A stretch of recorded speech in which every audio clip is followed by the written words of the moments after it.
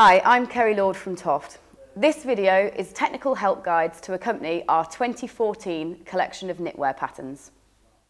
So we use two main methods to do increasing, so to turn one stitch into two stitches. The first one would simply be called an increase one, and that tends to be used on the edge of rows and involves knitting and purling into the same stitch. So go in as normal as you would with the knit stitch, yarn round and pull that back through. Then go back round and over with your needle and in the back of the stitch, yarn round and pull that through to make the second stitch. So let's do that again.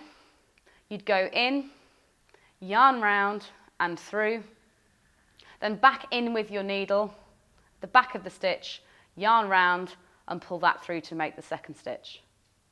So that's two increases we've done in a row there. We'll do a third one as well. In, yarn round and through, then back in with that needle into the back of the stitch, yarn over and back off. The second method we use is a make one, which generally you would use in the centre of a row rather than towards the edge. So what you do is using your left hand needle, you pick up a loop between the stitches and then you knit that loop in the back using your right hand needle as normal.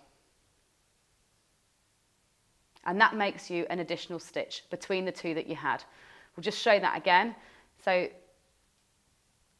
pick up that loop in between the two stitches, go in and knit the back of it as you would normally.